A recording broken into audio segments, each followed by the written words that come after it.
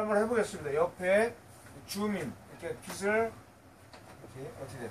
많은 거죠. 이거는 풀었을 때 그죠? 빛을 풀었을 때 굉장히 어, 굉장히 부드럽게 되는 걸 볼 수 있죠. 이렇게 빛을 또 이렇게 말았습니다. 말고요. 그 다음에 이렇게 풀었을 때 조명기고요. 요거는 그 슈퍼스타 어, F 200W고요. LED입니다. 그 다음에 어, 줌은 뭐 10에서 60도까지 되고요. 요거는 히트도 여기 뒤에 보면 되게 튼튼하게 많이 돼 있어요. 여기 되게 돼 있고요.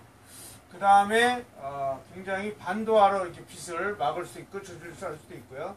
이런 반도화도 낄 수 있게 되고 프레기널 어, 렌즈를 어, 돼 있습니다. 그래서 제가 이 LED 조명을 하면서 느끼는 거는 저는 그 LED 조명의 광원과 그 다음에 렌즈나 이런 것들을 지금 할로겐 조명에서 많이 쓰고 있는데 LED에 관련된 이 LED 설계만 좀 다시 하고 어떤 배광에 대한 설계도 하고 어, LED 관련 렌즈에 대한 설계도 좀 제대로 해가지고 한번 어, 해보는 게 좋은데 워낙 그 돈이 많이 듭니다. 그래서 연구자금비가 이런 관련해서 많이 좀 지원이 나라에서 된다 그러면 어, 제대로 한번 아, 스포트라이트를 좀 LED 조명을 만들어서 어, 세계적인 브랜드로 어, 좀 해보고 싶습니다. 근데 국내나 외국의 제품들도 보면 그냥 옛날에 할로겐 조명에 대한 Fresnel spot 렌즈를 그냥 그대로 많이 쓰고 있는데 아, 자체적으로 광원이 틀리기 때문에 할로겐 램프는 reflect 램프 렌즈의 어떤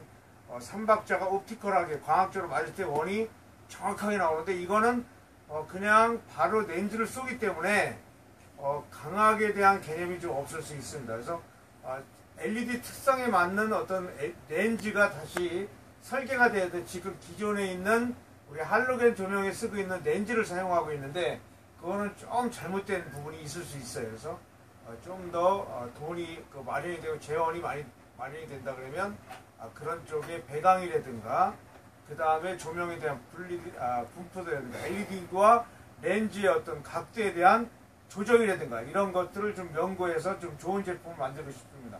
근데 지금 현재는 제가 렌즈는 그대로 지금 할로겐 조명 렌즈를 썼고요. COB LED를 써서 지금 현재 이렇게 줌으로 될 수 있는 어, 조명기 매뉴얼로 이렇게 빛을 말았다, 풀었다 할 수 있게끔 하는 거를 제가 소개를 드렸습니다. 요거는 어, 슈퍼스타 F200W LED고요. 다크호스로 우리가 명명을 할 수도 있는데 지금 현재는 그 슈퍼스타 F200W LED입니다. 그리고 어, 3200개의 색온도가 나옵니다. 그래서 지금 현재 요거를 소개해 드렸습니다.